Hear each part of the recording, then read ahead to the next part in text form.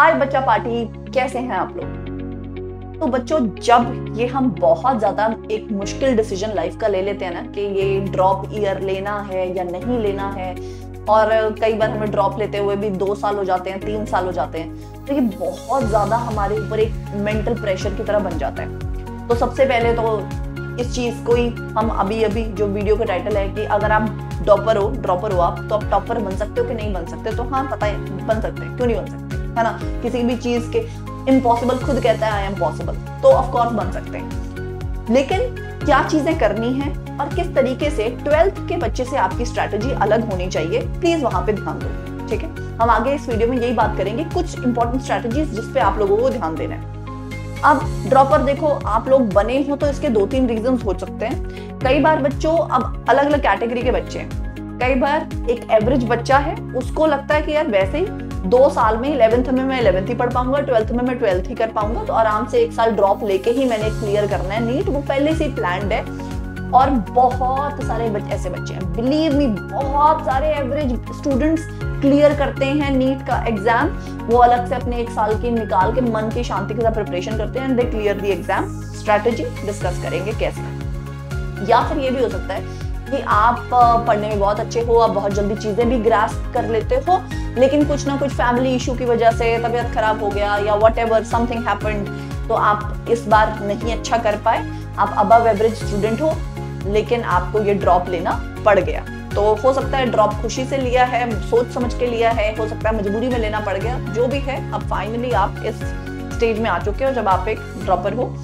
तो अब बच्चों, इस ड्रॉपर वाली स्टेज से आप टॉपर बनकर निकलना चाहते हो तो क्या क्या चीज़ें हैं जो कि आपको ध्यान रखनी है? सबसे पहले तो आपके ऊपर ना कोई भी टाइम की लिमिट नहीं रह जाती, कोई बाउंडेशन नहीं रह जाती। बारहवीं वाले बच्चे को पता है कि मेरे को टाइम से अपना सिलेबस पूरा करना है, फिर प्रैक्टिकल एग्ज़ाम्स में आएँगे, ये भी आएँगे, वो भी आएँगे। सर पे डंडा है, पढ़ने की ज़रूरत होती है उसको। आपके ऊपर ना किसी तरीके का सर पे डंडा नहीं रहता। तो आपको प्लीज़ एक चीज़ का ध्यान रखना है बच्चों कि जब आप अपना सिलेबस फिनिश करें, आप अपने सिलेबस को दो भाग में बांट दो, देखो। एक है कि कब तक आपका सिलेबस फिनिश होना चाहिए। और जब ये फिनिश हो जाना चाहिए तो आपका ऑलमोस्ट जनवरी से लेकर फेब्रवरी तक सिलेबस फिनिश हो जाना चाहिए। मैं ये सारी कैलकुलेशन इस हिसाब से आपको बता रही हूँ कि अब मई में, यानी कि मई 2025 में अगर आपका नीट का पेपर है तो अगर मई 2025 में आपका नीट का पेपर है तो जनवरी से लेकर फेब्रवरी के बीच में आपका कहीं पर सिलेबस फिनिश होना चाहिए। लेकिन फिनिश के साथ साथ देखो, बहुत इंपॉर्टेंट चीज़ है कि जो रिविजन है ना, वो आप साथ चला रहे हो। रिविजन के बिना काम नहीं चलेगा। अगर आप हफ़्ते में पाँच दिन नया टॉपिक करते हो तो दो दिन आपके सिर्फ़ रिविजन वाले होने चाहिए। तो पाँच फाइव डे आप न्यू टॉपिक करो जी। नो प्रॉब्लम इन इट खुशी से करो। लेकिन बच्चों, कोई ना कोई दो दिन ऐसे रखो जो सिर्फ़ और सिर्फ़ आपके रिवीजन को लेकर हो। जब सिर्फ़ और सिर्फ़ आप रिवीजन करोगे रिवीजन से it is going to make all the difference फिर उसके बाद सिलेबस फिनिश होने के बाद, फिर आपके पास सिर्फ़ और सिर्फ़ रिविजन री रिविजन ये रिविजन नहीं होना चाहिए ये री रिविजन होना चाहिए, ठीक है? और उसके साथ आपके मॉक टेस्ट की प्रैक्टिस तो ये होना चाहिए आपके मार्च और अप्रैल में, ठीक है? ऐसा नहीं है। बहुत बार हमारा कुछ ना कुछ सिलेबस छूटता भी है, कुछ चैप्टर छूट जाते हैं, कुछ टॉपिक है जो मुश्किल लगता है हर बार, वो सब यहाँ पे होगा ही होगा बच्चों, ठीक है? लेकिन ज़्यादातर आपका सिलेबस जनवरी नहीं तो खींच के फेब्रवरी में खत्म हो जाना चाहिए। तो आप अपने फोकस को बनाए रखते हुए इस हिसाब से आप अपना एक प्लान बनाओ। इस प्लान को बनाते हुए कुछ चीज़ों का ध्यान रखिए प्लीज़ एक तो कभी भी शॉर्ट टर्म गोल्स ना बनाएँ। Please make long term goals और लॉन्ग टर्म स्केड्यूल्स जब मैं लॉन्ग टर्म स्केड्यूल की बात कर रही हूँ, मेरा मतलब है कि कम से कम तुम अपनी जब प्लानिंग करोगे मिनिमम मिनिमम 15 डेज़ से लेकर मिनिमम 15 दिन से लेकर आप एक महीने तक की प्लानिंग बना सकते हो। या तो 15 दिन की बनाओ, नहीं तो एक महीने की बनाओ। वो जो आप एक एक हफ़्ते का शेड्यूल बनाते बनाने लग जाते हो, एक हफ़्ते में भी हर रोज का फिक्स कर देते हो, आज ये करना है, कल वो करना है। तो फिर काम खराब। लंबा शेड्यूल बनाओ और लंबे शेड्यूल में खुद को जितना तुम सोचते हो ना, उससे कम काम दो जितना लगता है ये भी कर लो, वो भी कर लो। भाई एक्स्ट्रा हो तो कोई बात नहीं। अब सपोज़ पंद्रह दिन के अंदर, पंद्रह दिन का अगर मैं आपको शेड्यूल बना के देखूँ तो आप ये सोच सकते हो कि मैं एक चैप्टर तो मैं जेनेटिक्स का एक चैप्टर करूँगा, एक चैप्टर में फिजिक्स का कर लूँगा, कोई भी। तो इस तरीके से आपको अपना शेड्यूल बनाना है, जिसमें आप अपना काम कम रखें। उस उस शेड्यूल के अंदर, और बस इतना यही होता है शेड्यूल। उसके बाद मंडे को सुबह उठ के छह बजे ये करूँगा, आठ बजे ये करूँगा, दस बजे वो करूँगा, वो कभी फॉलो नहीं होता। उसमें प्लीज़ मत घुसना, कोई ज़रूरत नहीं है वो करने की। आप अपना सिर्फ़ छोटा ये प्लान करो बिलीव मी वो शेड्यूल बना बना के हम इतना सत्यानाश करते हैं ना, कुछ नहीं पता। और इसको भी लॉन्ग टर्म लेके जाने की ज़रूरत नहीं। ऐसा नहीं कि ये ये प्लानिंग अब एक साल की बनाओगे, नहीं। तुम बस ये सोचो, तुम अपने अगले पंद्रह दिन में क्या करने वाले हो? ओनली एंड ओनली पंद्रह दिन। उससे, उसके बाद क्या करना है, उसके आगे क्या करना है, वो बाद में देखा जाएगा। आपको लगता है ये टारगेट बहुत छोटा था तो अगली बार और बड़ा टारगेट लेंगे।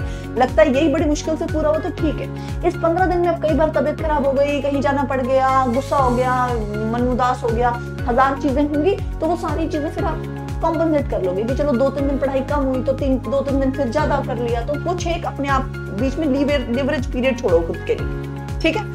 फिर इसके अलावा बच्चों, एक बहुत ही ज़्यादा इंपॉर्टेंट चीज़ है, जिससे सारा डिफरेंस बन जाता है कि आप डॉपर की ड्रॉपर रह जाओगे, कि आप टॉपर बन जाओगे। वो है क्वेश्चन की प्रैक्टिस बिलीव मी ये वाली चीज़ आपकी इतनी ज़्यादा फ़र्क डालने वाली है ना क्वेश्चन प्रैक्टिस बायो में बहुत सारी चीज़ें तुम ऑलरेडी कर ही चुके हो। ऐसा नहीं है कि तुमने वो चीज़ें की नहीं हुई या तुम्हें वो टॉपिक आता नहीं है। अगर पेपर दिया है तो तुम्हें मोस्टली चीज़ें तुमने एक एक बार पढ़ी हुई होती हैं। बिल्कुल ही ज़ीरो से स्टार्ट कर रहे हो तो भी भाई आप पे ये पॉइंट लागू होता होगा। एक साल की क्वेश्चन प्रैक्टिस चाहिए होती है लगातार वाली अगर आप टॉपर बनना चाहते हो। और इसका मतलब तुम मोटा मोटा ये समझो कि हर रोज हर रोज आपको कम से कम हंड्रेड क्वेश्चन प्रैक्टिस करनी है। सौ क्वेश्चन तो आपको डेली करने ही करने हैं। इन सौ में से आप 50 बायो के ले लो 25 फिजिक्स के क्वेश्चंस ले लो बच्चों, और 25 क्वेश्चन आप केमिस्ट्री के ले लो। मतलब ये तो आपका डेली का होना चाहिए कि भाई क्वेश्चन सॉल्व किए बिना तो सोना ही नहीं है। अब वो क्वेश्चन किसी भी चैप्टर से हो सकते हैं। कुछ भी करो ऑनलाइन उठा लो क्वेश्चन और अच्छे एनसीआरटी बेस्ड क्वेश्चन ये नहीं कि कहीं से उठा के ऐसे ऐसे क्वेश्चन निकाल रहे हो मॉड्यूल्स में से पुराने पुराने, जिस टाइप का क्वेश्चन पैटर्न अब फॉलो नहीं होता। तो अच्छे लेटेस्ट पैटर्न के सौ क्वेश्चन तुम्हें डेली प्रैक्टिस करने हैं। अगर तुम्हें लगता है, मैम, अभी तो मेरे को टॉपिक ही नहीं आता। टॉपिक तुम्हें आ जाएगा अगर तुम ये करना शुरू कर दोगे। सिर्फ़ और सिर्फ़ ये एक चीज़ है बच्चों, जो तुम्हें टॉपर बना सकती है। सिर्फ़ और सिर्फ़ ये एक चीज़। तुम ये समझ लो, अगर 100 क्वेश्चन है और तुमने 200 दिन प्रैक्टिस कर लिए 200 दिन तो मिनिमम करोगे। 200 डेज़ और 100 200 days and 100 question per day तो इसका मतलब समझते हो, बीस हज़ार क्वेश्चन बीस हज़ार क्वेश्चन ऐसा कॉन्सेप्ट नहीं छूटने वाला जो आपने किया नहीं होगा।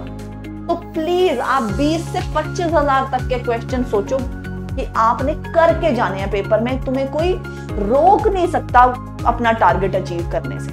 ठीक है? और ऑलरेडी अगर आप खान ग्लोबल स्टडीज़ के साथ एनरोल्ड हैं। अगर आप ऑलरेडी हमारे साथ ही क्लासेस लगा रहे हैं तो हमारे वाले बच्चों को भी एक खास मैं कहना चाहती हूँ, देखो बच्चों ऑलरेडी तुम्हारे पास रैंकर स्टफ़ वाले क्वेश्चन है। रैंकर स्टफ़ में तुम्हारे पास बढ़िया नीट लेवल के क्वेश्चन है। इस रैंकर स्टफ़ के अंदर तुम्हारे पास सर्जन रीजन के क्वेश्चन है और statement based true false statement कौन सी, कितनी स्टेटमेंट सही है, कितनी गलत है क्वेश्चन हैं। तो बहुत अच्छा रैंक स्टफ़ में आपके पास क्वेश्चन अवेलेबल है। इसको सॉल्व करो। उसके अलावा पी वाई क्यू आपके पास ऑलरेडी पहुँचे हुए हैं। तो पी वाई क्यू सॉल्व करो। उसके अलावा टॉपिक वाइज क्वेश्चन आपके पास पहुँचे हुए हैं। तो please topic wise question solve तो this is most important thing बच्चों, की आप जितने ज़्यादा क्वेश्चन प्रैक्टिस कर लोगे, उतना ही तुम्हारा सक्सेस रेट हाई होने वाला है। ये नहीं कि एक वीडियो देखी, चलो उसके नोट्स बना लिए अब अगली वीडियो देख लेंगे फिर उसके नोट्स बना लिए। कई बार तो नोट्स भी नहीं बनाते बच्चे कई बार नोट्स भी नहीं बनाते। आपका पैटर्न ये रह, ये रहना चाहिए बच्चों कि आपने एक टॉपिक लर्न किया ठीक है? फिर बच्चों आपने उसके क्वेश्चन प्रैक्टिस किए। फिर बच्चों उसके बाद आपने उस टॉपिक को रिवाइज भी किया और बच्चों आपने और ज़्यादा क्वेश्चन प्रैक्टिस की तो this should be your way बार बार और लगातार question practice question practice question practice मज़ाक बन हो जाना चाहिए। ऐसा कि तुम्हें लगे कि यार ये बीस तीस हज़ार क्वेश्चन क्या है? है ना? कि ये तो हर हर टॉपर जो बच्चा निकलेगा ना बच्चों, वो तब बनेगा जब आपका माइंडसेट सही होगा। क्वेश्चन पढ़ना आना चाहिए। लोगों को क्वेश्चन नहीं पढ़ना आता। अरे, एक बार जब 200 क्वेश्चन पढ़ने को मिल जाते हैं इसी में उसका दिमाग बौंदल जाता है। बंदल जाता मतलब फंबल हो गया। समझ ही नहीं आया। अब स्टेटमेंट पढ़ रहे हैं क्वेश्चन समझ आना बंद हो चुका है। ठीक है? क्यों? आदत ही नहीं है इतने ज़्यादा क्वेश्चन प्रैक्टिस करने की। दिमाग का ज़ोर लगाने की आदत ही नहीं है। और दिमाग का ज़ोर लगवाना आपको अब पड़ेगा। और साथ ही आप 100 क्वेश्चन जब प्रैक्टिस कर रहे हो डेली के, अगर डेली के 100 क्वेश्चन प्रैक्टिस कर रहे हो तो इन्हें एक साथ करना है। In one go in one go और इसके अंदर आपको खुद से रेस लगानी है। तो ये सौ क्वेश्चन होने हैं। रेडी गेट सेट गो करके। आपको हंड्रेड मिनट के अंदर अंदर, सौ मिनट के अंदर अंदर ये सौ के सौ क्वेश्चन पढ़ जाने हैं एक बार। हंड्रेड मिनट पे अलार्म सेट कर लो। हर एक मिनट पे मतलब ज़्यादा से ज़्यादा हंड्रेड क्वेश्चन के लिए हंड्रेड मिनट में मतलब तुम्हारा हो जाना चाहिए ये काम खत्म, बस। कोशिश ये करनी है कि तुम्हारा थर्टी टू फोर्टी सेकेंड लगे एक क्वेश्चन पे। समझ रहे हो बात? मुझे पता है फिजिक्स और केमिस्ट्री में बहुत मुश्किल होगा। तुम्हें अभी लग रहा होगा कि मैं क्या कुछ भी बोले जा रहे हो आप। इतनी देर में ये नहीं हो सकता, इतनी देर में वो नहीं हो सकता। लेकिन कोशिश करोगे, तभी तो वहाँ पे पहुँच पाओगे यार। कंपटीशन का लेवल देखो कहाँ गया हुआ है। और मैं तुम्हें ये चीज़ बता रही हूँ कि नई नई चीज़ें पढ़ के तुम वहाँ पे नहीं पहुँच पाओगे बच्चों। आपको क्वेश्चन प्रैक्टिस करनी पड़ेगी। सेम चीज़ को पक्का करो। ठीक है? ये नहीं कि आपको हज़ार चीज़ें आती हैं, अच्छे से कुछ भी नहीं आती। वही दस चीज़ें आ रही हैं बार बार वो दस चीज़ों पे ज़्यादा फोकस लगाओ। एनसीआरटी आ रही है तो एनसीआरटी पे ज़्यादा फोकस लगाओ। और एनसीआरटी बार बार बार बार पढ़ के काम नहीं चल रहा। एनसीआरटी बेस्ड क्वेश्चन प्रैक्टिस करने से काम चलने वाला है, ये तुम्हें बता रही हूँ। एनसीआरटी जो पढ़नी है, वो पढ़नी है। गोज विदाउट सेइंग पर एक बार पढ़ लिया, दो बार पढ़ लिया, ठीक है बस। फिर उसके बाद तीसरी, चौथी, पांचवी बार पढ़ के तुम नया चीज़ नहीं निकाल पाओगे, जब तक क्वेश्चन प्रैक्टिस नहीं करोगे। ठीक है? तो पढ़ो किसी चीज़ को क्वेश्चन प्रैक्टिस करो। फिर रिवाइज करो उस चीज़ को, दोबारा से पढ़ो और फिर से क्वेश्चन प्रैक्टिस करो। तो यहाँ पे क्वेश्चन प्रैक्टिस में रेडी गेट सेट गो करेंगे आप। आप कोशिश करेंगे कि एक क्वेश्चन पे आपको 30 टू 40 सेकंड लगे बस। मतलब 100 क्वेश्चन सॉल्व कर रहे हो तो 100 मिनट से ज़्यादा टाइम आप खुद को नहीं देंगे। और सबसे पहले तो आप किसी भी क्वेश्चन पे अगर अटक रहे हैं मान लो मैं क्वेश्चन मैं 100 क्वेश्चन सॉल्व करी थी मैं क्वेश्चन नंबर 15 पे अटकी मुझे पढ़ के एकदम से आंसर समझ नहीं आ रहा। तो मैं फटाफट से क्वेश्चन नंबर 16 से कर, आगे शुरू कर दूँगी मैं इसको इस पे अपना देर नहीं लूँगी क्योंकि मैं रेडी गेट सेट गो पे मुझे क्वेश्चन नंबर हंड्रेड पे पहुँचना है एज सुन एज पॉसिबल फिर बच्चों, मान लो क्वेश्चन नंबर 27 पे अटकी, फिर उसके बाद क्वेश्चन नंबर 48 पे अटकी, फिर उसके बाद 96 पे अटकी और फिर मेरा 100 हो गया। अब मैं वापस आऊँगी। ऐसे करते करते हो सकता है तुम 20 क्वेश्चन पे अटक जाओ 40 क्वेश्चन पे अटक जाओ, पर पहले तुम question number ready get set go करके क्वेश्चन नंबर 100 तक पहुंचो किसी तरीके पढ़ो फटाफट फटाफट फटाफट, जो आता है करो, जो आता है करो, जो आता है करो। फिर उसके बाद अब आप बस एक, आपको पता चल जाएगा कि ठीक है, अब मेरे पास मान लो ट्वेंटी मिनट्स बचे हैं। ठीक है, मैंने फटाफट गेट सेट गो से सारे क्वेश्चन रीड कर दिए बीस मिनट बचे हैं। अब उस बीस मिनट में मुझे ये सिर्फ़ पाँच क्वेश्चन सॉल्व करने हैं। अब उम्मीद है कि मैं इसको सॉल्व भी कर लूँगी। अब है चांस कि इसको सॉल्व भी कर लूँगी। लेकिन अगर वो मैं शुरू से ही एक लाइन में चलते हुए क्वेश्चन नंबर 15 पे टाइम वेस्ट कर दिया तो टेंशन ये भी है कि अरे बाकी के क्वेश्चन भी बचे हुए हैं। फिर नहीं हो पाएगा। तो प्लीज़ हमेशा रेडी गेट सेट गो करना है। अपने आप को टाइमर लगा के 100 questions in a day practice करने हैं बच्चों। सिलेबस टाइम पे अपना कंप्लीट करना है आपने। छोटे गोल सेट कर, छोटा मतलब कम गोल सेट करना है। ये नहीं कि पूरे साल का शेड्यूल बनेगा आप पंद्रह पंद्रह दिन का शेड्यूल बनाओ और वो भी बस एक पंद्रह दिन। इस बार के पंद्रह दिन का शेड्यूल बनाओ और वो भी टाइट नहीं बनाना। ठीक है? टाइट शेड्यूल नहीं बनाना। मोटा मोटा बात करो कि हाँ भाई जेनेटिक्स कर लूँगा इलेक्ट्रोस्टैटिक कर लूँगा, ऐसे छोटा शेड्यूल बनाओ अपना, बस दैट्स इट शुरू में धीरे धीरे गाड़ी चलेगी, फिर आपकी गाड़ी मोमेंटम पकड़ेगी। लेकिन क्वेश्चन प्रैक्टिस आप आज से शुरू करेंगे। जो टॉपिक आता है, नहीं आता, कुछ भी एनसीआरटी बेस्ड बढ़िया क्वेश्चन क्वेश्चन प्रैक्टिस आज से आप शुरू करेंगे। धीरे धीरे बहुत सारे कॉन्सेप्ट ऐसे हैं जो क्वेश्चन के ही थ्रू आप समझ जाएँगे। ठीक है? चलो फिर थैंक यू सो मच बच्चों। तुम्हारा टाइम बहुत ज़्यादा प्रेशियस है। मैं बात को लंबा खींचना नहीं चाहती, बस इतनी ही कुछ इंपॉर्टेंट चीज़ें थी जो मेरे दिमाग में चल रही थी। सोचा आप लोगों के साथ शेयर कर लूँ। प्लीज़ इनको फॉलो कीजिएगा और अपनी प्रैक्टिस में लाइएगा और all the very very best बच्चों। कंपटीशन तो डेफिनेटली है ही तगड़ा, पर तुम भी तगड़े हो। तुम, तुम्हारे मम्मी पापा का सपोर्ट तुम्हारे दोस्तों का सपोर्ट और हम लोगों का सपोर्ट आपके साथ है। तो फिर कुछ चीज़ है ही नहीं जो आपको रोक जाएगी। जब दिमाग में सोच लिया, नीट क्लियर करना है तो बस फिर करके हटेंगे, और क्या? दूसरा अपने पास ऑप्शन ही नहीं है। ड्रॉप ले लिया अब करेंगे हम? नहीं, बस करेंगे और करेंगे। ठीक है? ठीक है। All the best see you next class